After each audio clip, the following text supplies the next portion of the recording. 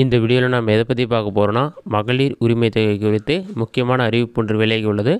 அது என்ன என்பதை பற்றி தான் இந்த வீடியோவில் நம்ம டீட்டெயிலாக பார்க்க போகிறோம் தமிழ்நாட்டில் பார்த்தீங்கன்னா ரூபாய் ஆயிரம் மகளிர் உரிமை தொகை திட்டத்திற்கு விண்ணப்பிக்க கால அவகாசம் முடிந்த நிலையில் பெறப்பட்ட ஒன்று புள்ளி அறுபத்தி மூன்று கோடி விண்ணப்பங்கள் கைபேசி செயலி மூலமாக பதிவு செய்யப்பட்டுள்ளது.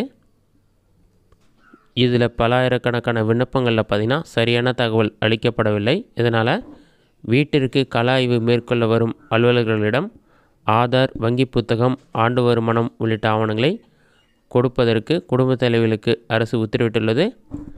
இது சம்மந்தமாக பார்த்தீங்கன்னா செய்திக்குறிப்பும் ஒன்று விலகி உள்ளது அதில் என்ன உள்ளது என்பதை பற்றி நம்ம டீட்டெயிலாக பார்க்கலாம்.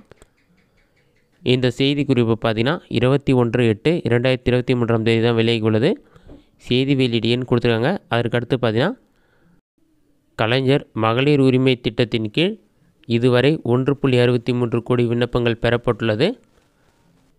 பெண்களின் வாழ்வாதாரத்தை மேம்படுத்தி வாழ்க்கை தரத்தை உயர்த்தி சமூகத்தில் சுயமரியாதையோடு வாழ்வதற்கு வழிவகுக்கும் கலைஞர் மகளிர் உரிமை திட்ட விண்ணப்பங்களை பதிவு செய்யும் முகாம் மாண்புமிகு தமிழ்நாடு முதலமைச்சர் திரு மு க ஸ்டாலின் அவர்களால் இருபத்தி நான்கு ஏழு இரண்டாயிரத்தி இருபத்தி மூன்று அன்று தருமபுரி மாவட்டம் தொப்பூர் அரசு மேல்நிலைப்பள்ளியில் நடைபெற்ற விழாவில் தொடங்கி வைக்கப்பட்டு விண்ணப்ப பதிவு முகாம்கள் இரண்டு கட்டங்களாகவும் மற்றும் விடுபட்டவர்களுக்கான சிறப்பு முகாம்களும் தொடர்ந்து நடத்தப்பட்டு இருபது எட்டு இரண்டாயிரத்தி இருபத்தி மூன்று அன்றுடன் விண்ணப்பங்கள் பதிவு செய்யும் பணி நிறைவடைந்தது. முதற்கட்ட முகாம்கள் பார்த்தீங்கன்னா ஜூலை இருபத்தி நான்காம் தேதி முதல் ஆகஸ்ட் நான்காம் தேதி வரை நடைபெற்றது. இரண்டாம் கட்ட முகாம்கள் ஆகஸ்ட் ஐந்தாம் தேதி முதல் பதினான்காம் தேதி வரை நடைபெற்றது.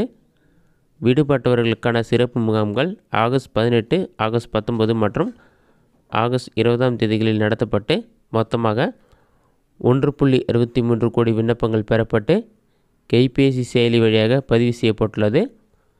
மேற்படி முகாம்களில் பெறப்பட்ட விண்ணப்பங்களில் அளிக்கப்பட்ட தகவலை தேவைக்கேற்றபடி சரிபார்ப்பதற்கு கலாய்வு மேற்கொள்ளப்பட்டு வருகிறது. கள ஆய்விற்கு வரும் அலுவலர்களுக்கு விண்ணப்பதாரர்கள் உரிய தகவல்களை அளித்து தகுந்த ஒத்துழைப்பு தருமாறு கேட்டுக்கொள்ளப்படுகிறார்கள். இதுதான் தற்போது வெளியான செய்திக்குறிப்பு. கள ஆய்வுக்கு வரும் அதிகாரிகள் என்ன ஆவணங்கள் கேட்டாலும் அதை நீங்கள் சமர்ப்பிக்கணும். அதை வந்து அவங்க செக் பண்ணிவிட்டு உங்களோட டீட்டெயில்ஸ் எல்லாமே கரெக்டாக இருந்தால் தான் உங்களோட அப்ளிகேஷன் வந்து அக்செப்ட் பண்ணுவாங்க. அப்படி இல்லைனா உங்களோட அப்ளிகேஷன் வந்து ரிஜெக்ட் ஆகிடும் உங்களோட அப்ளிகேஷன் அக்செப்ட் ஆனாலும் ரிஜெக்ட் ஆனாலும் உங்களுக்கு எஸ்எம்எஸ் மூலமாகவும் மென்ஷன் பண்ணவும் சொல்லியிருக்காங்க இதுதான் தற்போது வெளியான முக்கிய அறிவிப்பு. இந்த வீடியோ உங்களுக்கு யூஸ்ஃபுல்லாக இருக்கும் நினைக்கிறேன். இந்த வீடியோ உங்களுக்கு பிடிச்சிருந்தா லைக் பண்ணுங்கள் இந்த வீடியோவில் உங்களுக்கு வேறு ஏதாச்சும் டவுட் எதுனா கமெண்ட் பாக்ஸில் கமெண்ட் பண்ணுங்கள்